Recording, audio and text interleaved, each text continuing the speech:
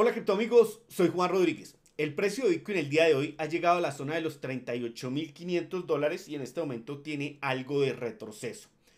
Vamos a hablar de las tres cosas o noticias principales que nos están rondando en este momento y que han causado en parte que lleguemos a donde nos encontramos en precio.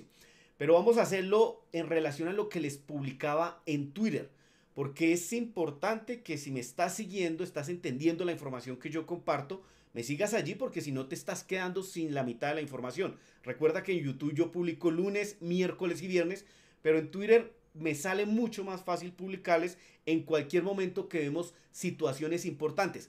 Nunca te voy a decir compre o vendas, pero te voy a decir el por qué en determinada noticia es importante y si la analizas, pues te va a llevar a tomar la mejor decisión. Y es obvio, ya vamos a hablar de ello. Pero esas tres cosas importantes, ¿cuál era la primera? Bueno, veíamos cómo grandes ballenas han sido liquidadas. No siempre las ballenas eh, ganan con sus intentos de mover el precio en el corto plazo. Y hoy han sido aniquiladas varias de ellas. Ahora, sabemos que estaba el tema de los contratos de opciones a vencer, estaba también el contrato de futuros, también importante que están shorteando, están bajistas, los mismos que han venido perdiendo, los fondos de cobertura, hedge funds, y que es importante lo que vamos a hablar hoy. Pero vemos cómo en este momento ballenas fueron aniquiladas. Ayer les hacía la publicación en la noche ya de lo que estaba sucediendo. Y les mostraba cómo eh, en la última parte empezaban a vender Bitcoin nuevamente. Los dejaron llegar hasta 32 mil dólares. Y en ese momento viene la segunda noticia. Elon Musk ha publicado en su biografía la palabra Bitcoin y el precio de Bitcoin ha tomado un alza considerable. Y esto va relacionado con lo tercero. Y es que por allí ustedes habrán escuchado noticias de Wall Street Bets, los cuales han estado, digamos, detrás de los movimientos al alza de, las, de algunas acciones, dentro de ellas la de GameStop, que ha tenido un crecimiento importante, pero que ya ha retrocedido gracias a la manipulación de los que no les gusta perder. Ustedes habrán encontrado algo de noticias sobre eso y simplemente es que esta gente de Wall Street Bets es un grupo de Reddit eh, de muchas edades, pero principalmente son gente entre los 25 y 35 años que entienden mucho y están en desacuerdo con el 1% que acostumbra a ganar en los mercados. ¿Qué encontraron? Que esos fondos de inversión, fondos de cobertura, los hedge funds, estaban apostando en corto a la baja en la acción de GameStop. ¿Y qué ocurría? Que estaban apostando más de las acciones que existen. Es decir, estaban inventando acciones de donde no hay. Y eso en este momento por las, los reguladores no está siendo juzgado, se está señalando el mercado por otras cosas, pero no porque estuviesen operando de una forma malintencionada, manipulada y tal vez delincuencial. Entonces esta gente de estos fondos de cobertura estaban colocando shorts, es decir, que si el precio de la acción va a la baja, ellos van a ganar y traían la acción eh, de por sí, por, su, por lo que hay detrás de ello, tenía cara a ir a la baja y venían ganando, venían ganando y venían perfecto. El problema es que este grupo de Reddit ha encontrado ciertas falencias, como que estaban operando más acciones de las que existen y si decidieron empezar a comprar la acción para subirla. ¿Esto qué ocasiona? que estos fondos de inversión, a medida que ven subir el precio ya notablemente, pues necesitan cerrar sus posiciones en pérdidas y si lo hacen, pues tienen que comprar las acciones más caras para poder cerrar y se las están comprando a esta gente a un precio más costoso. Entonces, ¿quiénes están perdiendo?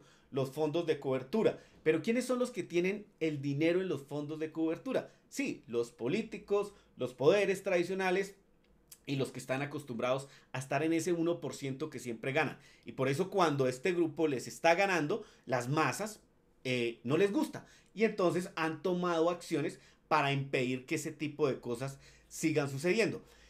Esto tiene que ver un poco con la publicación que hacía Elon Musk hoy, porque se compara, bueno, esto es eh, algo similar a lo que está haciendo este grupo en Reddit. Diríamos que aquí realmente lo importante es que el hombre más rico del mundo está entendiendo el mejor dinero. Ya habíamos lanzado noticias de cómo él le estaba preguntando a Michael Saylor, el CEO de MicroStrategy, eh, o le estaba mostrando el interés sobre Bitcoin. Tal vez él viene comprando Bitcoin hace semanas. Y obviamente saber que Elon Musk eh, tiene Bitcoin y ve esto como un mejor dinero, pues ha causado este ascenso en el precio de Bitcoin. Vamos a hablar un poquito en profundidad de esto que les estoy comentando. Entonces, vamos a empezar por explicar cada una de mis publicaciones que realizaba en Twitter desde el día de ayer en la mañana, a las 9 de la mañana, hora Colombia, cuando estábamos a un precio de los 31 mil dólares. Que por los comentarios veo personas que aprovecharon esa información y hay otras que estaban totalmente perdidas y veo que es porque no tienen mucho conocimiento. Por eso voy a explicar esto rápidamente. Mire, en la primera publicación les decía que los depósitos, los envíos de dólares digitales, monedas estables a intercambios se habían incrementado notoriamente, por eso suponía que el tiempo de los osos, es decir, el tiempo en que quieren mover el precio a la baja, había terminado. Y para eso la imagen que publicaba allí me permite mostrarles que el precio en ese momento se encontraba en los 31.293 dólares.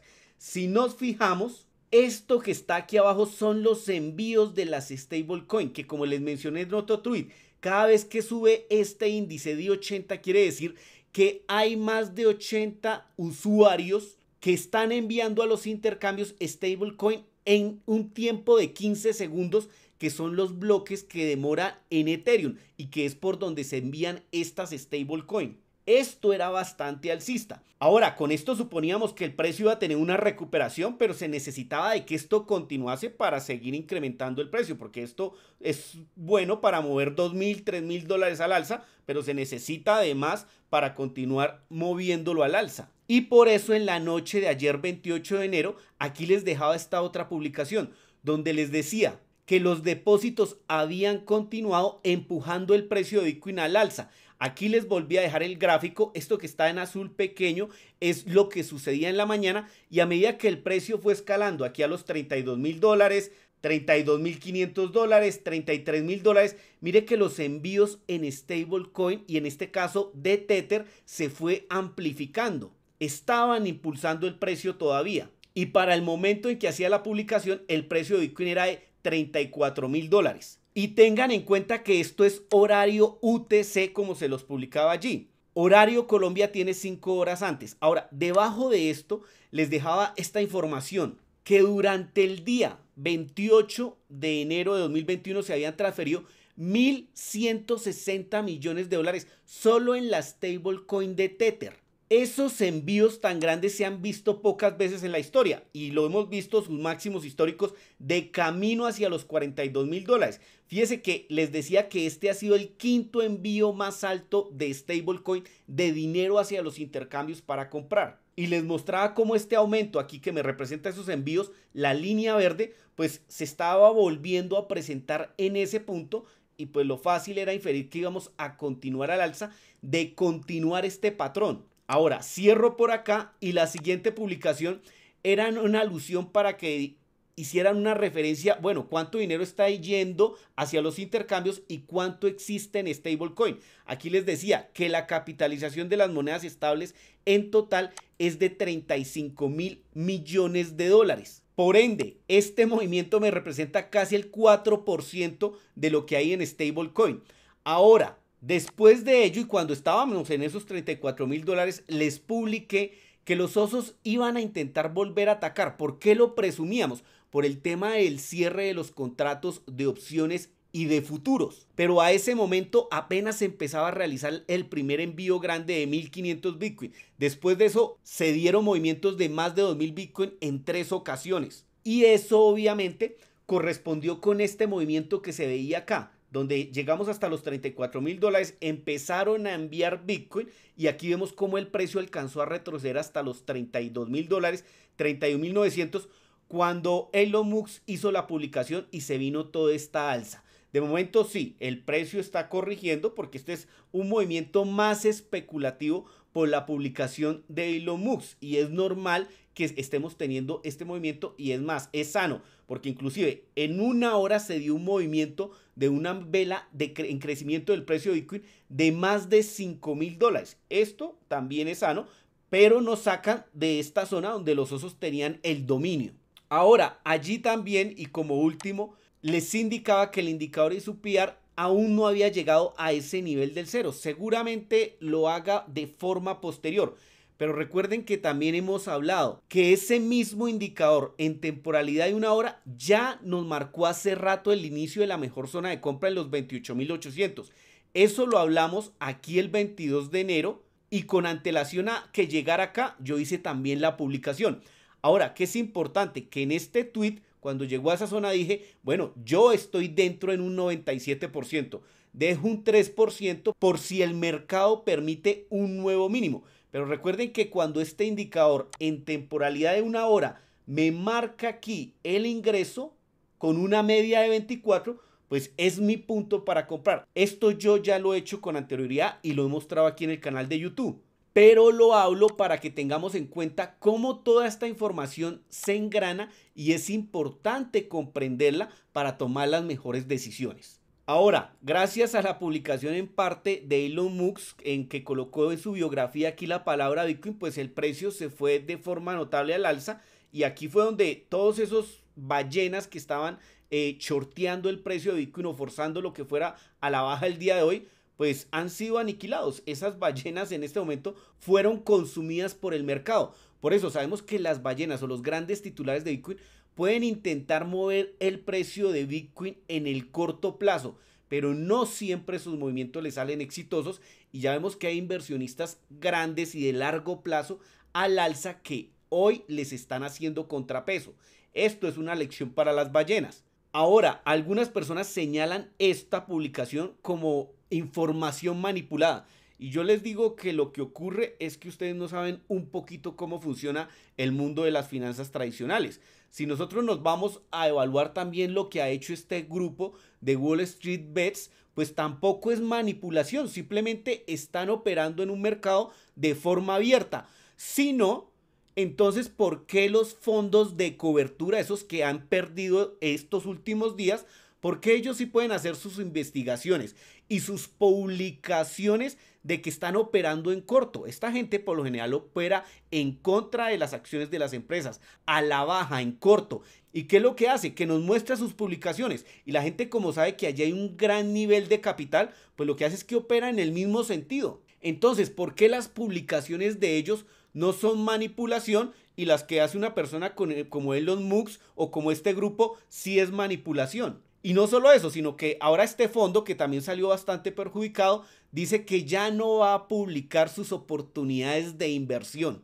¿Tú crees en verdad que esta gente quiere favorecerte cuando publica sus posiciones? Para mí este es el descaro más grande de lo que están haciendo. Y aquí no acaba el descaro en decir que no, que ahora no van a publicar sus posiciones, la cosa va más allá, como fueron los fondos de cobertura y son los sitios donde el 1% de quien controla todo este tema de las finanzas tiene su dinero y no les gusta perder, pues ahora están cambiando las reglas. Y en parte vemos que, por ejemplo, este fondo fue uno de los que quebró. ¿Y qué pasó? Que hay otro fondo más grande que salió a prestarle dinero y que es el fondo que provee de liquidez a lo que es la aplicación Robinhood, una de bastante crecimiento en los Estados Unidos.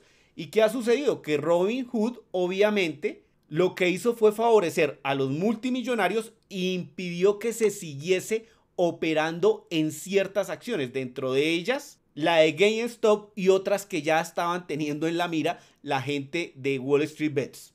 Obviamente después del cierre pues la acción fue corrigiendo, pero esto es un mercado saludable donde es los intercambios y los fondos de inversión los que nos dicen dónde podemos colocar nuestro dinero y dónde no o porque están perdiendo ya no les gustan las reglas y lo quieren cambiar.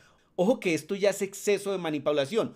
Y adicional, también hubo otros inversores tradicionales como Michael Burry, que quien no lo distinguen es por el personaje que invirtió más de mil millones de dólares en contra de la burbuja del 2018 que quienes no recuerdan es la película del Big Short. En esta ocasión él cogió y operó al alza y también tuvo utilidades por más de un 1500% en la acción de GameStop. Y si son bitcoiners, les debe alegrar lo que les está sucediendo a los fondos de cobertura, porque recuerden que las posiciones en la CME de los futuros de Bitcoin, aquellos que no compran Bitcoin sino que se liquidan en efectivo, ¿Quiénes son los que están shorteando a Bitcoin? ¿Quiénes son los que tienen posiciones bajistas? Esta línea que está aquí en azul me representa a los hedge funds, a los fondos de cobertura. Sus posiciones son a la baja. En este momento seguramente están perdiendo el día de hoy. Lo siento por ellos, pero deben de intentar de dejar manipular el mercado porque eh, se presume que ellos son parte de esas ballenas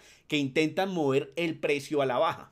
Y que precisamente, fíjese, en ese movimiento, después de las publicaciones que yo hacía en los 34 mil dólares, cuando retrocedió aquí a los 32 mil dólares, ahí venían chorteando un poco de gente, de instituciones, de ballenas, y allí fueron liquidados más de 57 millones de dólares en posiciones. Esto solo fue en 10 minutos, porque la liquidación fue más grande. Esto fue únicamente lo que ocurrió en 10 minutos cuando el precio retrocedió acá. Tal vez aquí este gráfico me deje mostrarlo más antes de la publicación de Elon Musk. Tal vez él sabía ese tipo de movimientos que se dan en Bitcoin y aprovechó para liquidar algunas ballenas, lo cual le aplaudo. Y por ello, parte de la publicación que dejaba en Twitter el día de hoy tiene este mensaje importante. Mire, el objetivo de Bitcoin es darnos una alternativa monetaria, un dinero con mejores cualidades. Pero si tú operas con esto, si haces trading, tienes que tener algo muy importante en cuenta. Hay personas, entidades, ballenas, noticias, Elon Musk, información desconocida que puede mover el precio en el corto plazo. Por eso yo en lo personal he replicado muchas veces que lo que hago es que en un 80% voy en hold a largo plazo y con un 20% es lo que yo trato de incrementar mis tenencias. En cuanto a mis operaciones, la que les había mostrado que tenía de Bitcoin con 4 mil dólares, pues fíjese que aquí en los 37 mil 500 ya cuando veníamos retrocediendo decidí sacarle ya en ganancias 3 mil dólares y he dejado a mil dólares. Recuerden que aquí podemos porcionar las tomas de utilidades. De momento eso me representa 186, 187 dólares que me los pagan en Bitcoin y que recuerden que a mí me gusta mostrar esto porque es una forma fácil de acumular satoshis. Eso sí, gestionando bien el capital y el riesgo. Y no es la única operación que tengo en este momento. Si ustedes se fijan, pues tengo ahí otras monedas que la verdad ya la mayoría las he reducido, pero les dejé algo. Porque detrás de este movimiento también puede estar la gente de Wall Street Beats y eso me quiere decir que el precio puede estar descansando en este punto e ir más arriba. Pero pues ya la verdad he sacado la mayoría de las utilidades.